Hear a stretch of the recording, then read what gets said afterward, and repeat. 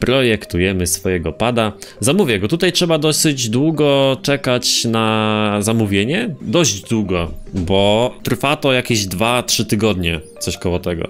I tak, ja myślę, że taki kolor sobie dam.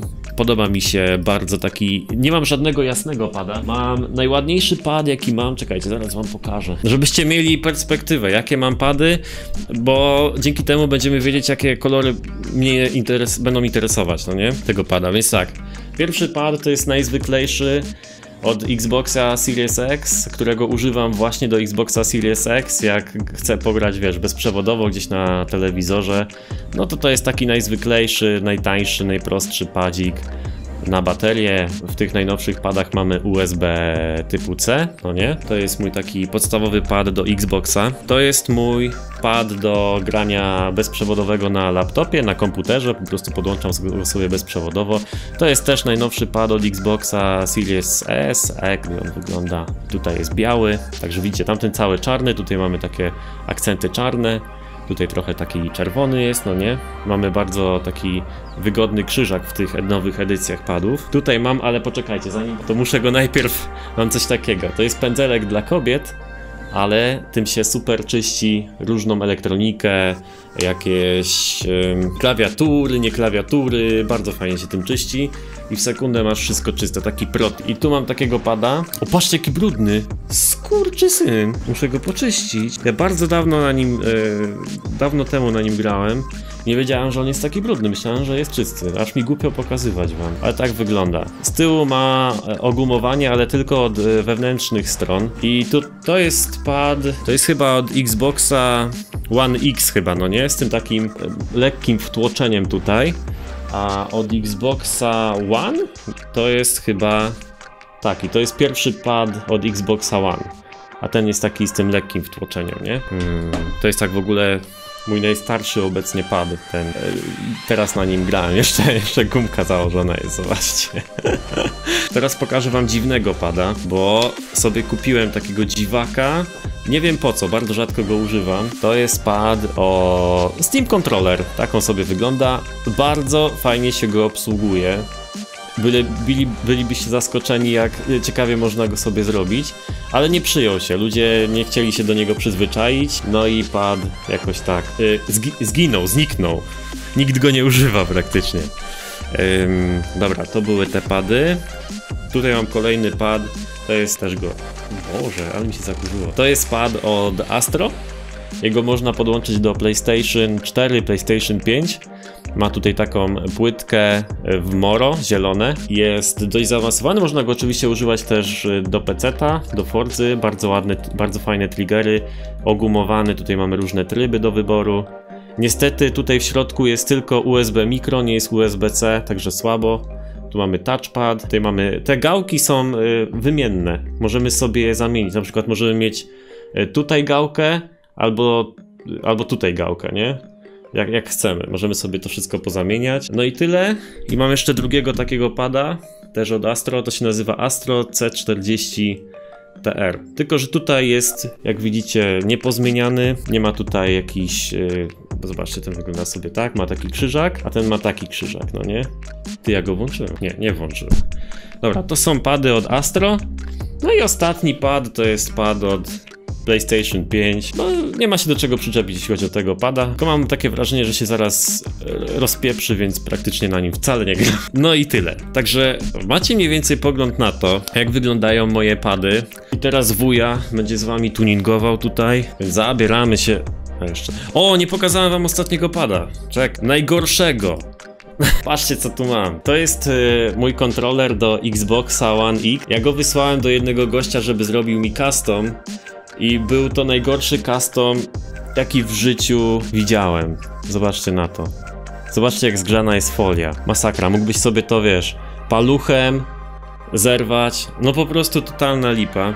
Kolorystycznie dopasował do Xboxa One X. Mam też takiego customowego Xboxa. I tak to bardzo ładny, bardzo zajebisty. A idź pan do ciula. Już wolałbym, żeby mi w ogóle tego nie... nie teraz nie mogę sprzedać konsoli przez to. Kuźwa.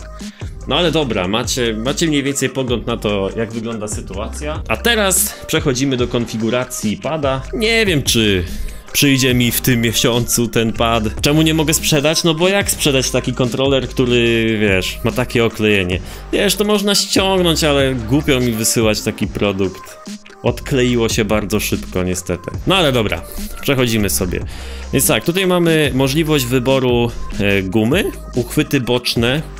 I te uchwyty boczne to jest. Czekaj, musimy zmienić kolor, żeby nam się odświeżyło. Te uchwyty boczne to jest tutaj po zewnętrznej stronie, widzicie? Ogumowane. Ja bym chciał jednego pada zrobić sobie takiego jasnego w kolorach, jakiego jeszcze, jakich jeszcze nie mam.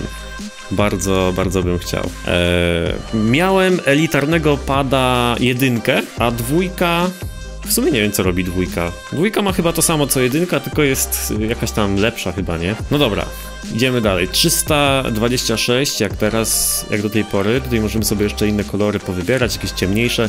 No wiadomo, jak jest ciemniejszy kontroler, no to wtedy mniej się brudzi, no nie? Możemy też wybrać białego. Biały jest moim zdaniem taki najgorszy. Nie wiem, zapomnieli pomalować go, no nie?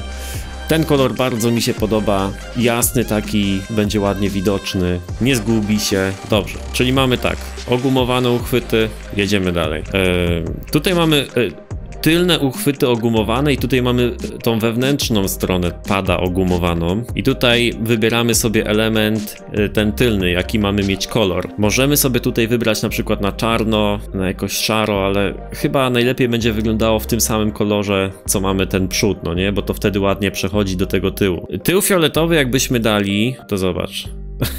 no nie, no. To nie pasuje, ziomek. No nie da rady. Widzisz, tutaj jest to takie brzydkie odcięcie. Nie podoba mi się to wcale. Możemy też wybrać oczywiście standardowy uchwyt i wtedy mamy bez tej gumy i to też inaczej wygląda, no nie? Tak guma, ja wam powiem, te pady bardzo dobrze leżą w dłoni, one praktycznie nigdy nie wypadają. Nie wiem, jakbyś musiał się pocić, żeby kiedykolwiek ci ten pad z ręki wypadł. Także ta guma to jest, to jest, myślę, że niepotrzebne. Tak myślę, że nawet jakbyśmy wzięli w standardzie, to chyba lepiej by wyglądał jakby cały był taki, no nie? Teraz to wygląda jak już taki typowo kobieco, moim zdaniem. No dobra, weźmy sobie tak i idziemy dalej. Tu mamy bumpery, czyli te przyciski tutaj na górze. I tutaj mam dylemat trochę, jaki kolor wybrać, bo możemy sobie różne. Znaczy, myślałem, żeby połączyć limonkowy, czy to, tak? Ten kolor, bo patrzcie, jak fajnie od frontu będzie wyglądał ten pad. Jak będziemy mieli te wszystkie przycis przyciski, gałki w tym kolorze i jeszcze triggery w tym kolorze, myślę, że będzie fajnie wyglądał. Dobra, Zobaczymy zaraz. Jedziemy do spustów i tutaj mamy opcję za dopłatą że będziemy mieli spusty metalowe, metaliczne takie i możemy sobie wybrać kolor ten sam co bumpery, ale zobaczcie, wygląda to trochę inaczej, no nie?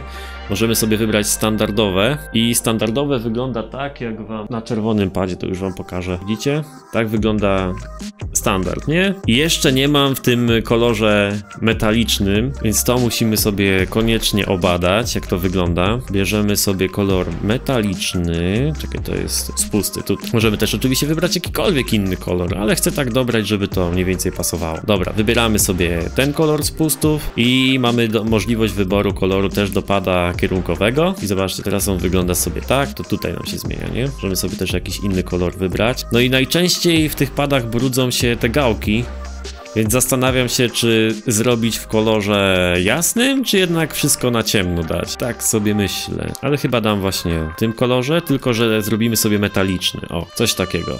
Kurde, ale ten metaliczny tak niezbyt trochę, nie? Niezbyt ten metaliczny wygląda. Może metaliczny, ale taki ciemny. Ty, ciemny wygląda spoko. Spoko wygląda ciemny. Zaraz jeszcze zobaczymy, jak będzie wyglądało z drążkami w tym kolorze. I co powiecie na coś takiego? Jakbyśmy na przykład zrobili ten pad kierunkowy, połączyli te kolory y, tych przycisków z padem kierunkowym. To by było chyba spoko, nie? Dobra, idziemy dalej. I tutaj mamy właśnie wybór tych przycisków i zobaczcie sobie, jak to się będzie ładnie łączyć. I dodatkowo jeszcze te przyciski, to mamy tutaj to szare, to albo to chyba. Ładny nawet, fajnie wygląda. Tutaj takie ciemne, bo zobaczcie, jakbyśmy dali ten kierunkowy na, na, na, na, na jakiś tam, nie wiem, jasny kolor, no to to chyba nie będzie ładnie wyglądać, tak na moje oko. A to wygląda ciekawie, no nie? I też będziecie mieli porównanie, bo za parę tygodni mi ten pad przyjdzie i zobaczymy sobie, jak będzie wyglądał w rzeczywistości, no nie? Ślady opon zrobić? A da się tak? Czekaj, jakie ślady opon? Gdzie to się robi? Nie widzę tutaj wyboru, chyba, że jakoś elitarnego da się zrobić. Nie, nadruk to jest co innego. Tutaj można znak dodać. Ja sobie napiszę na sam dół. Tak, można nick, na, nick sobie dać. Albo można dać 1% klub. Ja sobie dam 1% klub. Jedyny minus jest taki, zobaczcie sobie, że ten nadruk, on jest grawerowany laserowo, no nie? I no, niezbyt go widać na jasnym. Jakbyśmy dali sobie ten front na jakiś ciemny, to ten grawerunek, o, widzicie? Dużo lepiej wygląda. Dużo lepiej ten grawerunek wygląda. Ale no, trudno. Ja sobie zrobię tak. I co? Wygląda fajnie, nie? Ten padzik. Myślę, że bardzo fajnie wygląda. Na pewno będzie się odznaczał na, e, wiesz, w stosunku do innych moich padów. Zdecydowanie. Także ja go zamówię. On mi przyjdzie dopiero za parę tygodni. Podejrzewam, bo taki jest czas oczekiwania. Nie wiem, tu gdzieś było napisane. O, ze względu na poziom dostosowania kontrolerów, nie możesz anulować ani modyfikować zamówienia po jego złożeniu. Twoje zamówienie produktu Xbox Design Lab zostanie wysłane w ciągu od 3 do 4 tygodni. Opłata zostanie pobrana natychmiast i nie będzie można zwrócić zamówienia ani uzyskać zwrotu kosztów. Także jak zamówicie sobie już tego pada, to elo to musicie czekać.